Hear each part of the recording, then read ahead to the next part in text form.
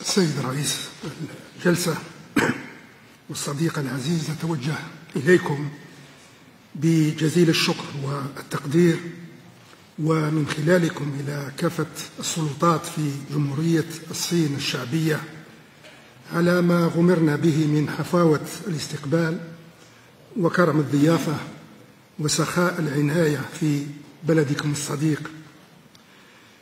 يلتئم جمعنا اليوم في هذه الطبعة الجديدة من منتدى التعاون العربي الصيني ليقف وقفة تقييم بعد انقضاء عقدين من الزمن على تأسيس هذه الآلية الهامة. إن تقييمنا الإيجابي لما تم تحقيقه طيلة هذين العقدين من عمر الشراكة العربية الصينية يملي علينا أن نلاحظ بكل صدق وقناعة أننا وفقنا أولا في ترسيخ توافقنا السياسي وفي توطيد شراكتنا الاقتصادية وفي تعزيز تقاربنا الثقافي والإنساني. وأننا وفقنا ثانيا في تحسين تموقعنا الجماعي على الصعيد الدولي كشركاء ملتزمين تمام الالتزام بالمبادئ والقيم والمثل المكرسة في ميثاق الإنسانية ميثاق الأمم المتحدة. وأننا وفقنا ثالثا وأخيرا في بناء نموذج للتعاون والشراكة نموذج يمكن أن يحتذى به لتشجيع بناء علاقات متوازنة في عالم صار يشهد اختلالا في الموازين وتراجعا في القيم وتراكما في مظاهر الاستقطاب والتجاذب والتصادم بانعكاساتها وتداعياتها الثقيلة على الجميع.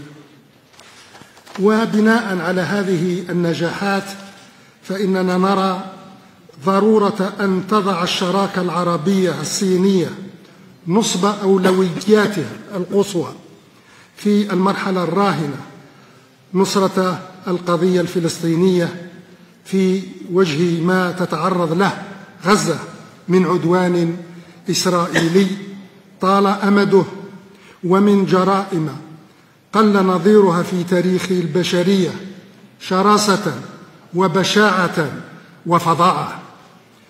إن موقفنا المشترك تجاه هذه القضية العادلة. يجب أن يؤكد اليوم على المسؤولية الثابتة التي تقع على المجموعة الدولية وعلى مجلس الأمن تحديدا. فإن كان هذا المجلس قد عجز أن يمنع عن غزة ما طالها من قصف وتدمير وتهجير وتنكيل فالأحرى به اليوم أن يدعم الزخم الدولي المتصاعد للاعتراف بالدولة الفلسطينية وتمكينها من العضوية الكاملة بمنظمتنا الأممية وإنهاء عقود من إفلات الاحتلال الإسرائيلي الاستيطاني من المساءلة والمحاسبة والمعاقبة. ولا يفوتني في هذا المقام أن ننوه بالموقف الصيني المشرف من العدوان الإسرائيلي المتوصل المتواصل على غزة ومن القضية الفلسطينية برمتها وأن أشيد بدعم هذا البلد الصديق من مقعده الدائم بمجلس الأمن لمختلف المبادرات التي تقدمت بها الجزائر بصفتها العضو العربي في ذات المجلس نصرة لأشقائنا الفلسطينيين بما في ذلك مشروع القرار الذي تقدم به وفد بلادي منذ يومين فقط فيما يخص الأوضاع الكارثية في رفح الفلسطينية.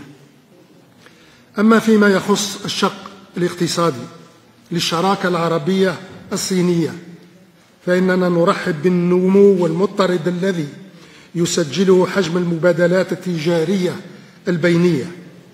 ونشيد بانضمام جميع الدول العربية لمبادرة الحزام والطريق الطموحة التي أطلقتها الصين سنة 2013 وفي ذات السياق نتطلع إلى تحقيق المزيد على درب تعزيز الاستثمارات البينية بغية السمو بالشراكة العربية الصينية إلى آفاق أرحب. وإذ طابع الاستدامة عليها من خلال نقل المعارف والخبرات والتكنولوجيا إلى اقتصاديات البلدان العربية. ومن هذا المنظور فإننا نرحب ونثمن خطة العمل المستقبلية الثرية والطموحة التي تقدم بها هذه الصبيحة سيادة رئيس جمهورية الصين الشعبية.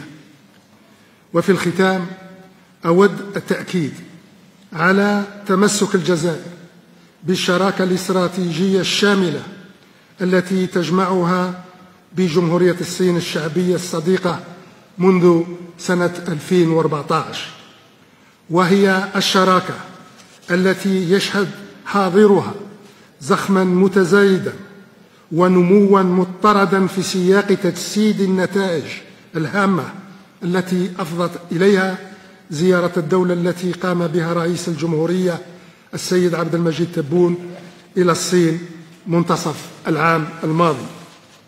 إن روافد الشراكة الاستراتيجية الجزائرية الصينية تتمثل في الثقة والتفاهم والتعاون والتضامن.